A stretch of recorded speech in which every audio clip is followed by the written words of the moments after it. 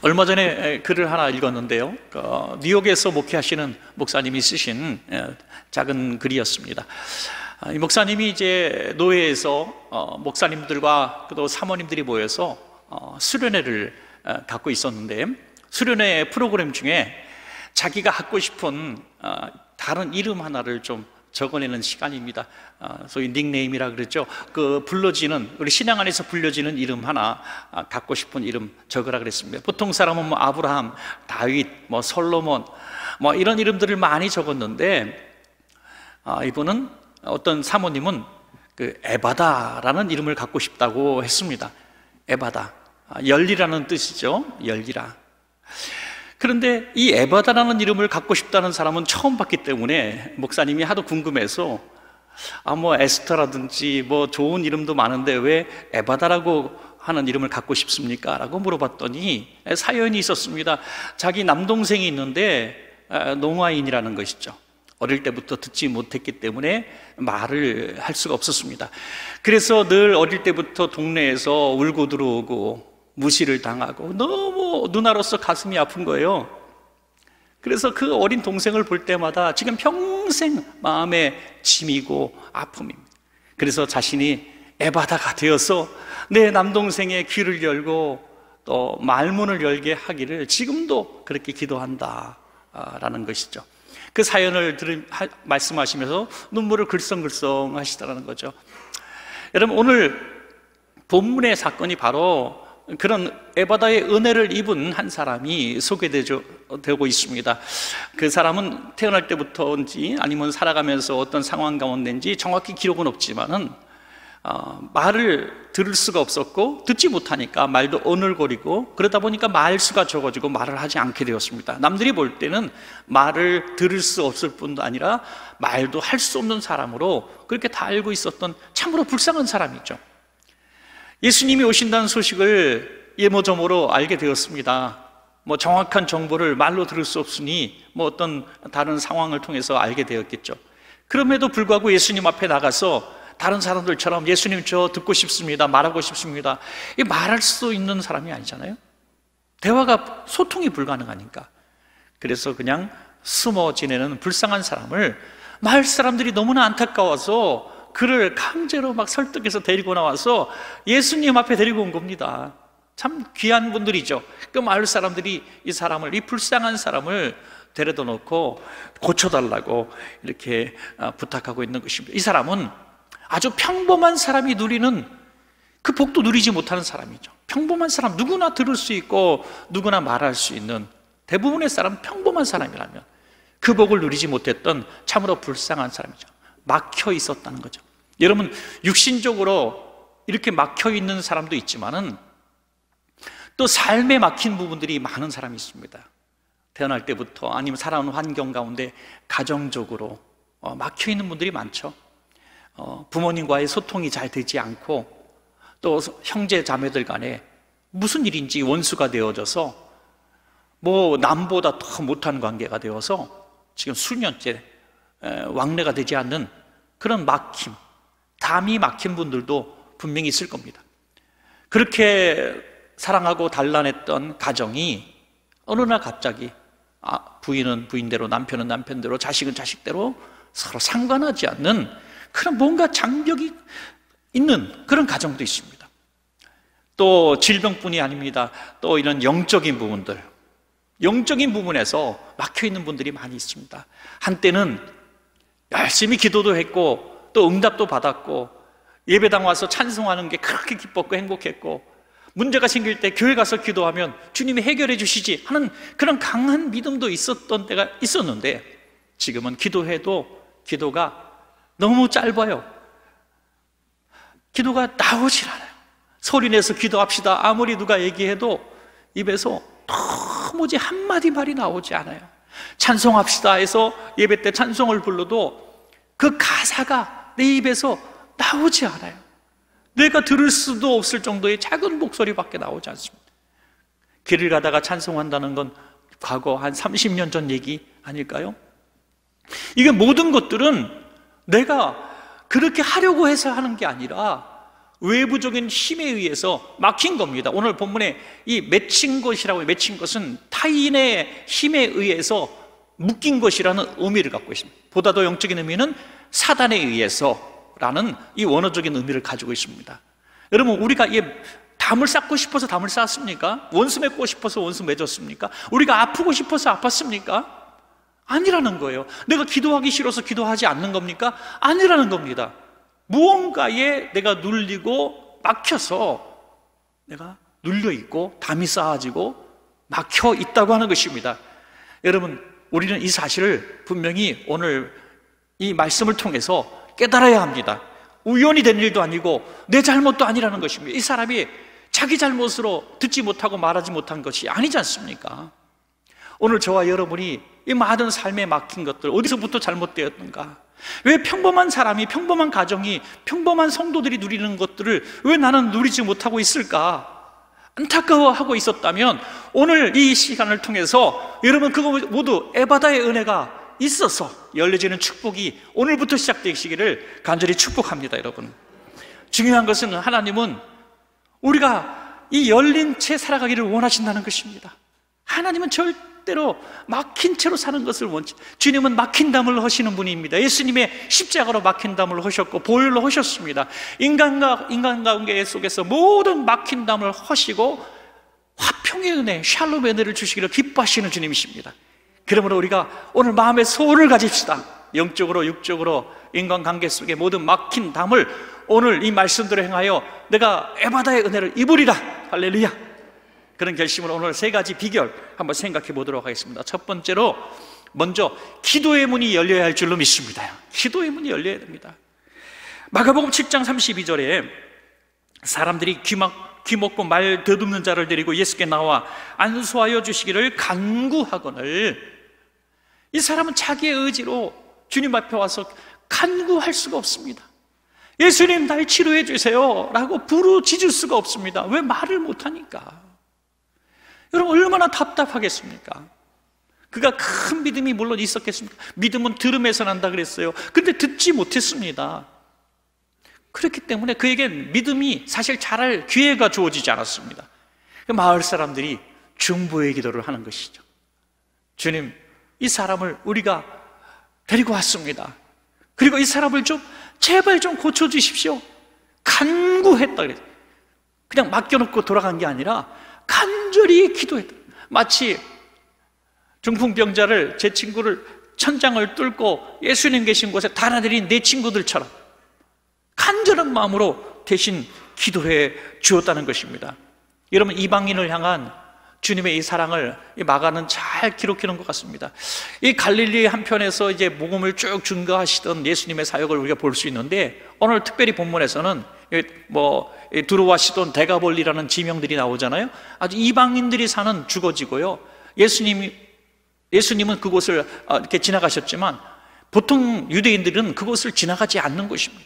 이렇게 돌아서 가. 뭐 사마리아 사람의 비유라든지 스로보니게 여인의 비유라든지 이 성경에 연관된 많은 사건들을 보면 유대인인 당신이 왜 나한테 와서 이렇게 말씀하십니까? 그것 자체가 놀라울 만한 상황입니다. 그런데 마가는 바로 이 예수님이 이 한 말할 수 없고 들을 수 없는 불쌍한 이방인 한 사람을 위해서 예수님은 어떤 일을 행하셨는가를 기록하고 싶었던 것입니다. 여러분, 누구나 처음부터 믿음이 있어서 또 믿음을 받을 만한 환경이 있어서 신앙생활 시작한 것이 아닐 겁니다. 어릴 때부터 부모님 중에 한 분이 교회를 나가서 어느 날 성경책 들고 가시다가 나도 따라갈래 해서 따라가다가 이렇게 예수 믿은 사람은 정말 축복되는 환경에서 산 사람이죠. 다른 어떤 것을 주지 못하셨어도 여러분의 부모님으로부터 교회에 올 수 있는 이 신앙의 유산을 물려받은 분은 최고로 감사해야 될 줄로 믿습니다, 여러분. 엄청난 축복입니다. 하지만 이 사람은 그런 복음을 받을 만한 상황에 놓인 사람이 아닙니다. 그런 환경의 사람이 아닙니다. 이방인들이 사는 지역에 살았습니다. 그곳에는 복음이 전달되지 않는 곳입니다. 하나님을 알 수가 없는 환경입니다. 더구나 들을 수 없었습니다. 말할 수 없었습니다. 어떻게 그에게 복음이 전가되겠습니까? 어떻게 그가 예수님을 알 수 있겠습니까? 그 주변의 사람들이 그를 불쌍히 여겨서 예수님 앞에 데리고 왔기 때문에 그 기도했기 때문에 그 문이 열린 것입니다, 여러분. 그럼 우리 구역 예배 드릴 때 많은 간증들이 있는데 저는 내 흔하디 흔한 간증 중에 하나를 좀 들었습니다. 이제 처음 교회를 등록하고 구역에 배정되어서 구역 예배를 드립니다. 이게 뭔지도 모르고 서먹서먹하고 되게 불편하죠. 그러다가 어느 날 뭐 집안에 뭐 어떤 기도 제목을 하나씩 나누고 기도합시다. 1년 동안 우리가 기도합시다. 구역장님이 말씀하셔서 기도 제목을 이렇게 냈는데 아, 참 낼까 말까 하다가 그래도 너무나 마음에 소원이 있어서 기도 제목을 어려운 걸 냈답니다. 그런데 그 기도 제목을 붙들고 다른 기도 구역 식구들이 막 기도하는데 어, 정말 간절히 기도하거든. 그냥 형식적인 예배 순서가 아니라 너무 간절하게 기도. 언제 봤다고? 자기를 뭘 한다고? 그거 막 눈물까지 흘려가면서 기도하고, 그 다음 주에도 또 기도해 주고, 그 관심을 가져주고, 거기에 너무너무 감동을 받은. 너무 감동을. 아, 나 같은 사람이 뭐라고? 아무도 관심 갖지 않고 있는 이 기도 제목을 나만 가슴 아파하고 있는 기도 제목을 저들은 무슨 사랑으로 그렇게 눈물 흘려가면서 기도해 주고 있는가? 여기에 너무 감동을 받아 신앙생활이 점점 자라나서 지금 훌륭한 하나님의 일꾼으로 성장했다고 하는 그런 모습입니다. 사랑하는 여러분, 우리의 중보 기도를 통해서 간절한 기도를 통해서 타인의 막힌 담도 허물 수 있다는 것을 믿으시기 바랍니다. 여러분의 자녀가, 여러분의 부모님이 또 어떤 관계 속에서 삶의 어떤 어, 우리가 인간의 힘으로 뚫을 수 없는 그런 벽, 장벽 앞에 이를테면 학교, 취업의 문, 결혼의 문, 또 이런 여러 가지 삶의 문에서 너무 고통받고 있는 우리 자녀들의 문제가 있다면 여러분 이것은 그냥 너 팔자야. 네가 헤쳐나가야 돼. 할 것이 아니라는 것입니다. 예수님께서 예루살렘의 딸들아 나를 위해서 울지 말고 너와 내 자녀를 위해서 울라고 했습니다 여러분. 기도하라는 것입니다. 우리뿐이 아니라 우리의 자녀들 문제들까지라도 그 막힌 담 평범한 사람들이 누릴 수 있는 그 문제를 해결할 수 없는 그들을 향해서 우리가 기도해야 하는 것입니다, 여러분. 누구나 처음부터 기도할 수 있는 게 아니에요. 여러분, 우리가 담이 있고 이걸 반드시 해결해야 되는데 기도가 나오지 않아요. 오늘 이렇게 대표 기도 하실 정도의 성도님 되시면 참 우리가 부럽기도 하죠. 어떻게 이렇게 기도를 잘 하실까? 어느 날 대표기도 시킨다 그랬더니 바람 함께 사라진 성도가 있대요. 대표기도만 안 시키면 내가 교회 나오는데 대표기도 시킨다고 교회를 떠나. 그게 그렇게 두려운 겁니다, 여러분. 뭐 일주일 내내 식사를 못 할 정도로 참 힘들다 그래요. 여러분, 기도가 처음부터 그렇게 쉽게 나오는 게 아닙니다. 기도가 참 어려워요. 그러면 우리가 기도해서 해결받고 이 담을 헐고 문제가 해결되는 데까지 이르기 원한다면 어떻게 해야 될까요? 공부 잘하는 분이 그런 얘기 하시더라고요. 제 얘기가 아니니까 오해 마시기 바랍니다. 공부 잘하는 분이 얘기하요 공부 잘하는 방법이 뭡니까? 라고 물어보니까 누가 더 엉덩이가 무겁느냐 거기에 딸린 겁니다라고 얘기. 얼마나 더 오래 앉아서 공부하느냐. 예. 거기에 공부 잘하는 비결이 있다는 거죠. 맞, 진리입니다. 그러면 기도 잘하는 비결이 뭡니까? 답은 명확합니다. 기도하면 됩니다, 여러분. 기도의 시간이 내 기도의 능력입니다. 믿으십니까, 여러분? 기도의 시간이 내 기도의 능력입니다. 기도를 하려고 자리에 앉아서 기도하면 기도할 수 있게 되고 기도가 늘게 되고 기도의 역사가 나타납니다. 그러므로 기도의 자리에 자꾸 와야 돼요. 예배 자리에 와야 됩니다. 주일 낮에 부족하면 저녁 예배 나오시고 부족하면 수예배, 금요시며 새벽 예배 나오시면 됩니다. 부흥에 나오시면 됩니다. 기도의 분량이 많은 시간들을 자꾸 우리는 사용해야 됩니다. 기도는 하면 할수록 늘고 기도는 하면 할수록 능력이 나타나는 것입니다, 여러분. 그래서 이 기도의 문제가 해결되지 않으면 절대로 이 하나님과 우리 사이에 또 우리 인간관계 사이에 우리의 물질 관계 사이에 있는 이 장, 장벽, 이 막힌 담은 절대로 허물어지지 않습니다. 기도해야만 합니다. 여러분 반드시 이 기도의 끈을 놓치지 마셔서 주님 에바다의 은혜를 주십시오. 우리에게도 이 담이 허물어지게 해주십시오. 듣고 말할 수 있게 해주십시오. 라고 여러분의 기도와 중보 기도를 통해서 이 담이 허물어지시기를 간절히 축복합니다. 두 번째로 만남의 문이 먼저 열려야 합니다. 만남의 문. 예수 그리스도와 인격적인 일대일의 만남이 있어야 이것은 영적 싸움이기 때문에 사단이 묶어놓은 것을 사람의 힘으로 풀수 없습니다. 영으로 육을 이기라는 말씀처럼 영적 싸움에서 우리가 이겨야 이 모든 담들이 허물어지는 것입니다. 때로는 육신의 문제 같기도 하고 때로는 인간관계의 문제 같기도 하고 때로는 그냥 내 마음의 상각의 문제인 것 같은데 분명히 마귀가 악한 영들의 역사에서 막하는 것들이 있다는 것입니다. 그것은 내가 결심하고 의지해서 안 됩니다. 어떤 중독성 있는 것에 빠져서 도무지 헤어나지 못하는 분들이 있습니다. 그런데 그 많은 노력을 했습니다. 시설에도 들어가고 또 훈계도 받고 자기 자신을 막 어, 매질도 하고 막 눈물로 호소하는 가족들을 만나기도 하고 그럼에도 불구하고 또 넘어지고 또 넘어졌는데 그가 일순간에 단번에 해결하는 경우가 있었습니다. 그것은 바로 주님을 만난 날입니다, 여러분. 주님을 만나. 너무나 놀랍게도 그 오랫동안 끊지 못했던 모든 것들이 하루아침에 끊어지는 경험을 합니다. 여러분, 그것은 분명하게 말씀하고 있는 것입니다. 이것은 육으로 풀 문제가 아니라 영으로 풀 문제라. 악한 마귀의 권세를 이길 수 있는 방법은 예수님의 능력밖에 없습니다, 여러분. 그것을 믿으라는 거죠. 마가복음 7장 33절에 예수께서 그 사람을 따로 데리고 무리를 떠나사 손가락을 그의 양 귀에 넣고 침을 뱉어 그의 혀에 손을 대시며 그의 아픈 부분에 예수님은 손을 각각 대신 것을 말합니다. 귀에, 혀에, 듣지 못하는 곳에, 말할 수 없는 곳에 예수님 못 자고는 손을 대어 주신 것입니다. 저는 이 표현이 너무 좋아서 우리 성도님들이 이 표현을 좀 썼으면 좋겠어요. 기도하실 때 너무 마음이 상하시고 아프십니까? 너무 마음이 찢어질 듯 아프십니까? 그러면 여러분들 그냥 어디 뭐 한적한 곳에 가서 바닷물 보고 이렇게 있으면요 바닷물이 불러요 이리 와 이리 와 불러 여러분 그런 데 가서 그 시간 때리면 안 됩니다 예. 괜히 높은 데 올라가서 내려다 보면요 계단으로 내려가지 않고 뛰어내리게 해요 여러분 그 마귀가 역사하는 거예요 지금요 정신 바짝 차려야 됩니다 그 뭐 마음이 너무 상하면 어떻게 할까요? 여러분 손 가슴에 손을 딱 얹으세요 그리고 예수님 내 손이 예수님 날 위해서 죽으신 예수님 못 자고 난 손이 되기를 원합니다. 예수님 그 피 묻은 손으로 내 마음을 만져주세요. 내 깨지고 망가지고 버림받고 상처나고 찢겨진 내 가슴을 만져주세요. 회복시켜주세요. 그러면 여러분 놀라운 역사가 일어납니다. 예수님이 피 묻은 손으로 여러분의 그 아픈 부분을 만져서 여러분 회복되는 역사가 일어나는 것입니다. 놀랍지 않습니까, 여러분? 어저께까지만 해도 이것 때문에 용서할 수가 없고 죽을 것 같았고 징후와 분노가 내 마음을 사로잡아서 내 인생은 여기서 끝난 것 같았는데 예수님이 내 마음을 만져주시니까 거짓말처럼 거짓말처럼 용서가 되어지고 해방이 되어지고 살아갈 용기가 생기는 것입니다 여러분 이것이 바로 예수님이 그 아픈 곳에 손을 대신 그 역사가 바로 이것이 아닌가 싶습니다 예수님은 그를 따로 데리고 한적한 곳으로 또 이제 산책을 하셔요 예수님 정말 그 낭만적인 사람 아닙니까? 육신적으로 볼 때도. 예.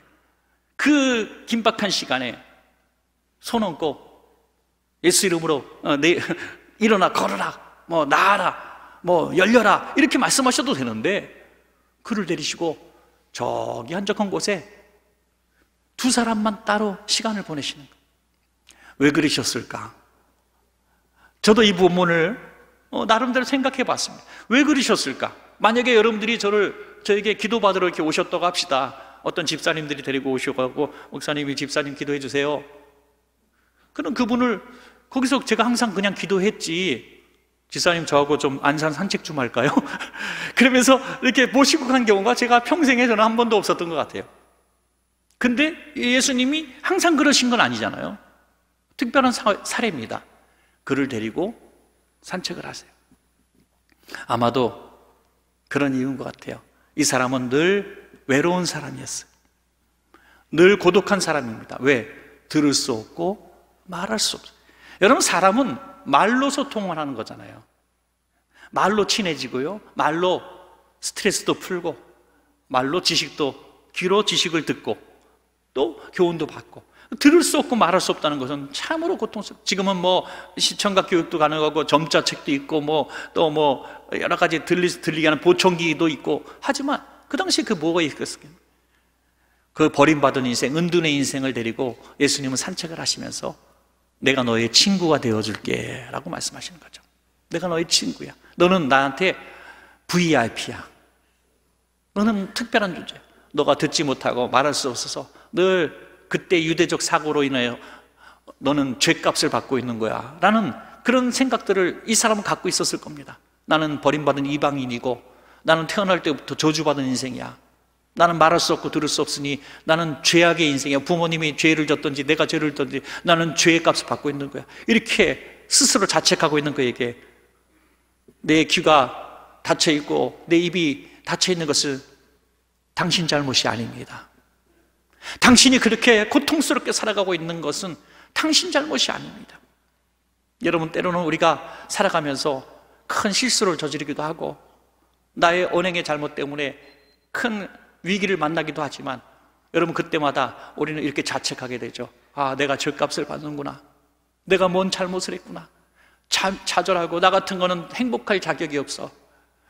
뭐 어린아이가 교통사고를 한 번 당하고 유치원 학교에서 오다가 교통사고를 당하면 그것조차도 엄마가 잘못한 것처럼 아빠가 잘못한 것처럼 엄마가 미안해 아빠가 미안해 하는 것이 부모들 아닙니까?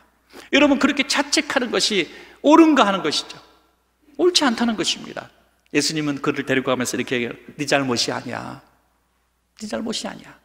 이것은 마귀가 너를 망가뜨리려고 너를 하나님으로부터 떨어뜨리려고 너를 불행하게 살게 하려고 맺어놓은 거야 맺힌 거야. 내가 그것을 풀어줄게 라고 말씀하시며 그의 혀와 그의 귀에 손을 대신 줄로 믿습니다 여러분.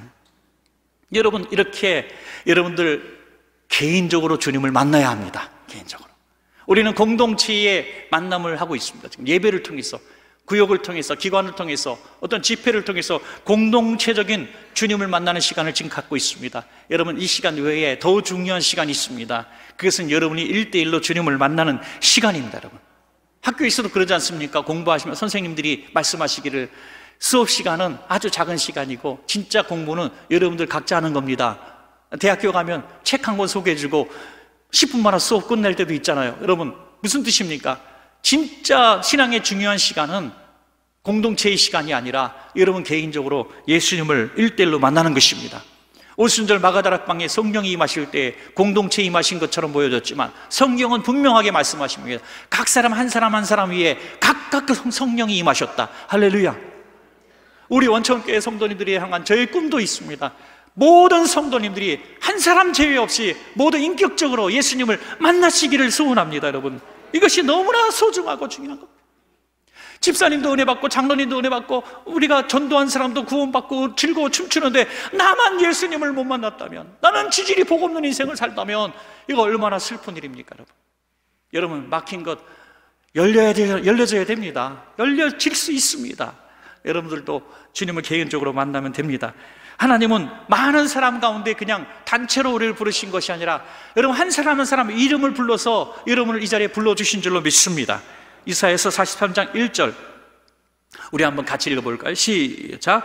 야곱아 너를 창조하신 여호와께서 지금 말씀하시느니라. 이스라엘아 너를 지으신 이가 말씀하시느니라. 너는 두려워하지 말라. 내가 너를 구속하였고 내가 너를 지명하여 불렀나니 너는 내 것이라 아멘. 저는 참 하나의 의문을 가졌던 적이 있습니다. 그것은 왜 예수님이 빨리 낫게 하지 않으실까? 나사로가 죽어간다는 소식을 듣고도 왜 거기서 시간을 보내시다가 늦게 오셨을까? 더 중요한 약속이 있으셨을까? 그렇지 않다는 거예요. 성경에 아무 기록도 없어요. 그냥 시간을 보내다가 나사로가 완전히 숨이 멎어진 것을 그 아시고 오셨다는 거예요.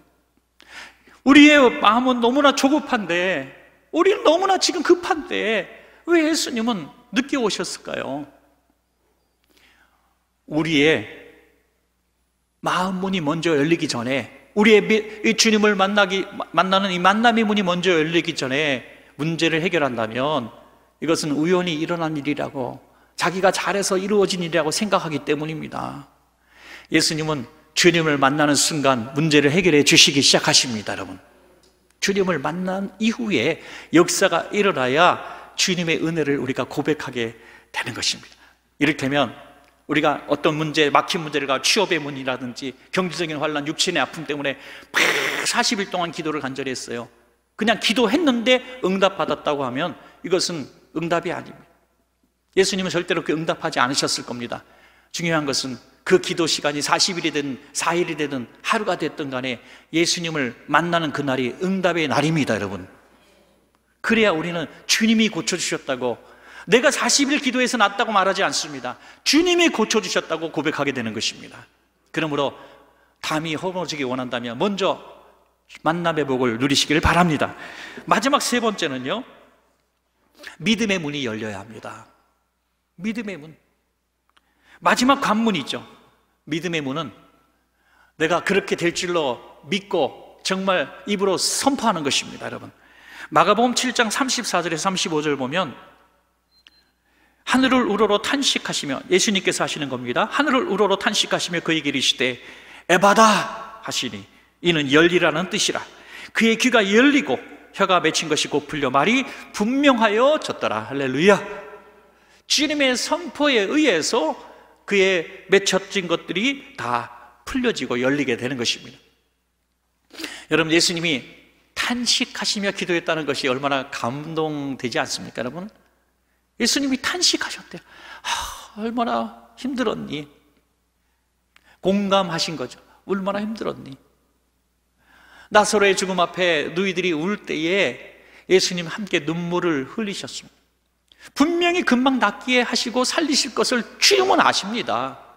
그럼에도 불구하고 지금의 슬픔을 공감하셨다. 여러분, 우리가 지금 너무 아파요. 너무 힘들어요. 너무 고통스러워요.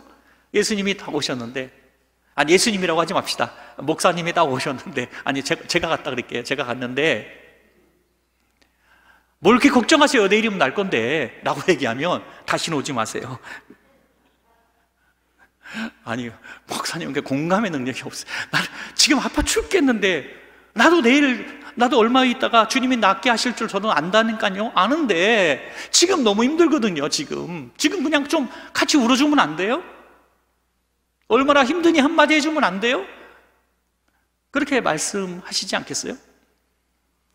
예수님은 금방 그를 낫게 하실 것을 예수님은 누구보다 잘 아셨습니다. 그럼에도 불구하고 단식하셨다. 아, 얼마나 힘드냐? 지금까지 얼마나 힘들게 살아왔니? 얼마나, 얼마나 울면서 살았니? 얼마나 죽고 싶었니? 이렇게 말씀하시지 않겠어요? 여러분 놀라운 것은 아무도 내 아픔을 모르는 것 같아도 성령님이 지금 예수님처럼 우리를 위해서 탄식하시며 기도하는 것을 믿으시기 바랍니다. 로마서 8장 26절 말씀이 거기에 기록되어 있습니다. 자, 한번 읽어볼까요? 시작. 이와 같이 성령도 우리 연약함을 도우시나니 우리는 마땅히 기도할 바를 알지 못하나 오직 성령이 말할 수 없는 탄식으로 우리를 위하여 친히 간구하시느니라. 아멘. 얼마나 위로가 되는지 알 수 없습니다. 우리 성도님들 가운데도 참 어, 그, 참 들어보면은 저 같으면 못 견딜 것 같아요. 어떻게 그렇게 힘든 일들이 많을까? 어떻게 힘든 삶을 사셨을까? 그 사연 사연이 한 사람 두 사람이 아니라 수십 명이 겪어야 될 고통을 혼자 다 겪으신 것 같아요. 그런데도 그분은 얼굴이 너무 밝아요. 어떻게 그럴 수 있을까? 어떻게 그럴 수 있을까? 아마도 바로 이런 은혜를 받은 게 아닐까 싶어요. 나보다 더 나를 위해서 탄식하시는 성령님의 의로하심이 그에게 있었기 때문입니다. 여러분, 그래서 저는 깨달았습니다. 우리 성도님들의 삶에 고통이, 고통의 수준은 우리가 성령님과의 얼마나 함께하고 있느냐에 꼭 여기에 비례된다는 것이죠. 내 고통이 얼마나 인간적으로 볼 때 얼마나 크고 작은 것의 문제가 아니라 내가 성령님과 얼마나 함께하고 있느냐. 성령님과 함께 있으면 내가 세상 사람들이 볼 때 어마어마한 고통이라도 그 고통이 고통이 아니라는 것입니다. 그러나 작은 고통인데도 죽겠어요, 못 살겠어요, 힘들어 죽겠어요 하는 이유는 성령님의 탄식을 지금 내가 듣지 못하고 있기 때문입니다. 그러므로 여러분, 성령님과 하나가 되셔서 성령님이 나를 위해서 탄식하고 기도하시는 것을 내가 믿는 이 믿음의 문이 활짝 열려지면 지금까지 내가 그 고통 때문에 죽을 것 같았던 고통들이 정말 다 사라지는 역사가 일어날 줄로 믿습니다, 여러분. 그냥 똑같은 고통인데, 똑같은 어려움인데, 하나도 힘들지 않은 거예요. 왜? 든든하니까요. 하나님이 나와 함께 하시니까, 아직껏. 니까지 깨모라고. 그걸 선포하라는 거예요. 야, 열려라. 문제 해결되라. 마귀야, 물러가라. 선포하겠다는 거예요. 왜? 나는 할 수 없지만 하나님은 하실 수 있느니라 말씀하셨기 때문이죠. 로마서 10장 10절 말씀 우리 마지막 한 절만 더 같이 읽어보겠습니다. 시작. 사람이 마음으로 믿어 의에 이르고 입으로 신하여 구원에 이르느니라. 아멘. 그러므로 입으로 시인하는 방법이 뭘까요? 이 마지막 세 번째 단계 믿음의 문이 열려야 되는데 우리는 이 같은 입이지만 한 입으로 두 가지를 할 수 있습니다. 하나는 저주도 할 수 있고 축복도 할 수 있고 하나는 불신의 말도 할 수 있고 믿음의 말, 말도 할 수 있다는 겁니다. 한 입으로 정말 분노를 토할 수도 있고 한 입으로 감사와 찬양을 할 수도 있습니다. 여러분 바울과 신라가 원망하고 불평하고 하나님 왜 이러십니까 해야 될 때에 뭘 했습니까? 감사하고 찬양했다 그랬어요. 찬양할 때에 단단히 막 묶였던 그 착고가 풀어지고 옥문이 열리고 말았던 것입니다. 오늘 우리가 이 영적인 싸움에서 승리하려면 세상에 이런 막힌 문들이 열리기 이전에 먼저 우리의 이 입술의 믿음의 문이 열려야 됩니다. 입술의 믿음. 입술의 문. 한번 생각해 보십시오.